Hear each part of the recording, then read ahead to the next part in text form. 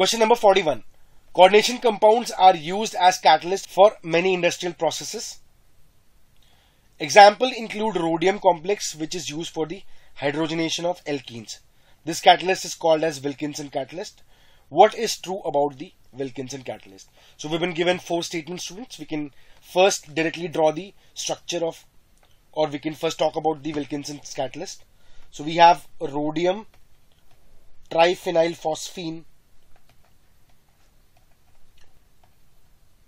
chloride. Okay. So we have RH PPH3 whole thrice Cl. So this is a square planar complex students. So we have RH 4 coordinated. There are three triphenyl phosphine present.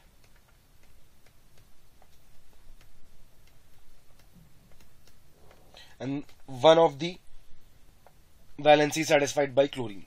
Okay.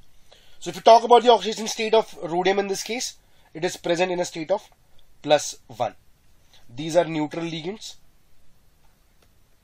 So we can now look at the options which are given to us. First option it says the coordination number of rhodium is 3. This is not correct students. Coordination number of rhodium is 4. If you look at the second option now, oxidation number of rhodium is plus 2. This is also not correct students. It is plus 1. If you look at option 3 now, coordination number of rhodium is 6. This is also not correct. It is equal to 4. And if you look at the last option which is given to us, oxidation number of rhodium is plus 1. So this is correct students. So for question number 41, we have to mark the correct answer is option 4. Let us look at the next question now. Question number 42. The absolute configuration of C2 and C3. So the carbon number 2 and carbon number 3 have been labeled in this case. Okay. So we have to use the CIP rules, which is the Cahn-Ingold Prelog rules. So we have to first assign priority. So I'm sure you guys are all aware of the rules of assigning priority. So if you look at the carbon number 2, so we have the aldehyde as the first priority. Okay. To talk about the second priority, it will go to the group which is below. So this is 2 and this is 3. Now students, on moving from 1 to 2 to 3, we're going to have to move in an anti-clockwise fashion. But since the least prior group which is H is coming towards us in this case so it should be the reverse of what it actually appears. So now it appears to be S as it is anti-clockwise but the least prior group is coming towards us. So this is R. If you look at the carbon number 3 which is present below we can again assign the priority the first priority will be given to the alcohol 1 the second priority will be given to the group above and the third priority will be given to the group below which is methyl. Hydrogen is again coming towards us in this case. So if we move from 1 to 2 to 3, we seem to be moving in an anti-clockwise fashion which will give us an idea that it might be S but again the least prior group is coming towards us. So it is also again R.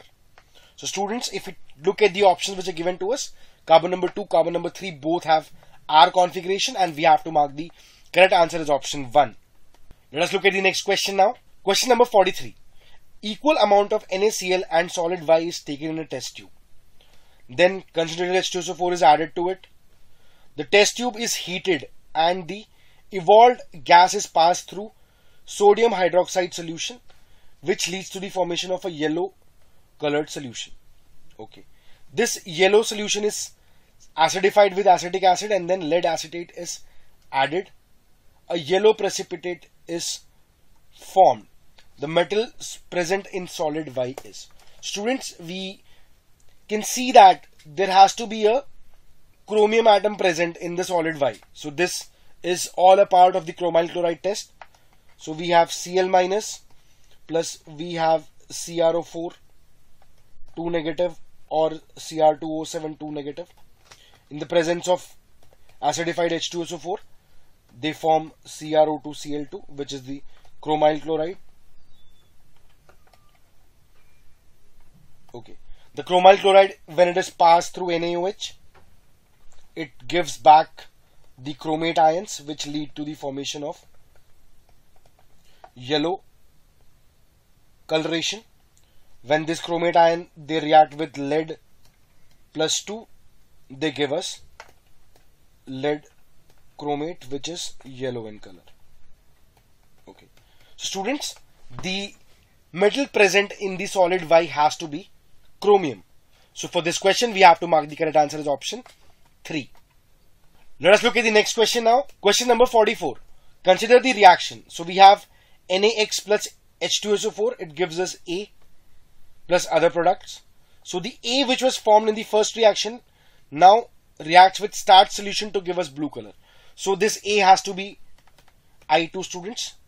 Iodine turns the starch paper blue. Now it is further given to us that NaX reacts with AgNO3 to give us a yellow precipitate. This also in fact confirms that it is iodide. So NaI plus AgNO3 they react to give us AgI which is yellow in color. Okay. So students, the correct answer to question number 44 is option 4, which says that X is an iodide. Let us look at the next question. Question number 45. Which of the following sulfide dissolves in polyammonium sulfide? Student, the polyammonium sulfide is used for group 2 basic radicals. So they are used to separate group 2 basic radicals into group 2A and group 2B. So the group 2B cations they dissolve in yellow ammonium sulfide. So they contain arsenic plus 3, antimony plus 3, antimony plus 5 and we have the tin. So tin plus 2 and tin plus 4. So these cations they dissolve in yellow ammonium sulfide or the ammonium polysulfide. So students, if you look at the options given to us, we can clearly see that AS2S3 is the answer to this question. It belongs to group 2B cations and these dissolve in the yellow ammonium sulfide. Let us look at the next section students.